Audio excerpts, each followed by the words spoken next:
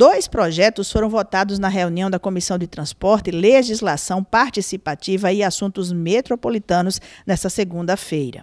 Um deles prevê a implantação obrigatória próximo a hospitais com urgência e emergência de semáforos e faixas de pedestre. Esses locais são de pessoas que já estão indo com uma certa urgência, então é necessário chegar o quanto antes no hospital, que aí pode salvar várias vidas. O outro projeto aprovado na comissão modifica a Lei Municipal de Retirada dos Veículos de Tração Animal, propondo a substituição dos equinos por motos com carroça.